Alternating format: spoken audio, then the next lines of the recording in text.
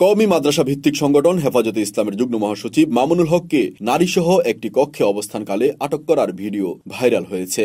শনিবার বিকেলে নারায়ণগঞ্জ সোনারগাঁওয়ের তিন তারকা হোটেল রয়্যাল রিসোর্টে একজন নারীসহ প্রবেশ করেন তিনি। পরে স্থানীয় এলাকাবাসী পাঁচশত এক নম্বর কক্ষে ওই নারীসহ মামুনুল হককে আটক করে স্থানীয় জনগণ আটক করে এবং তার সঙ্গে নারীর পরিচয় জানতে চাইলে এ সময় তিনি দাবি করেন ওই নারী তার দ্বিতীয় স্ত্রী।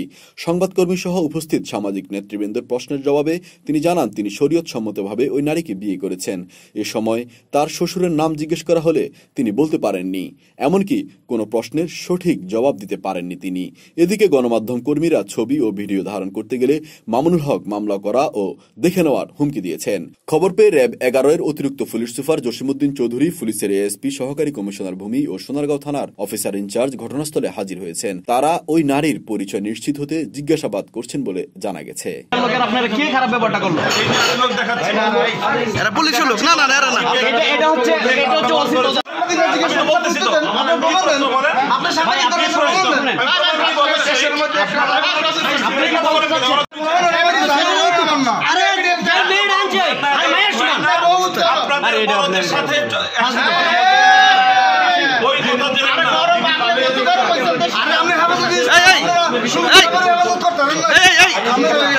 ভিডিও লিতেছে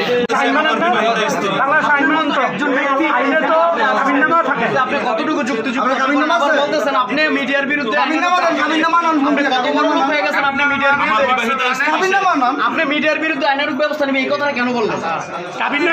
আমার স্ত্রী বিশ্বাস করেন আপনারা আপনার পর্দনশীল কথা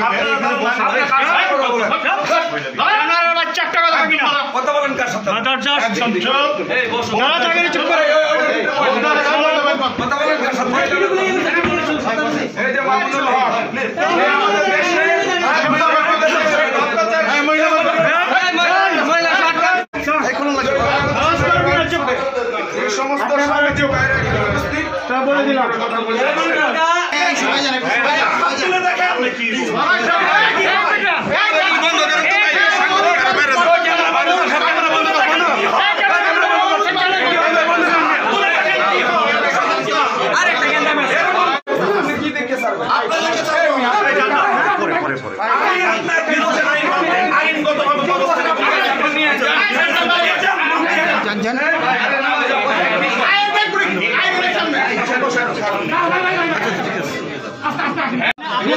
মিডিয়ার কোন ব্যক্তি আপনারা ব্যবহার আপনি বলেন তো মিডিয়া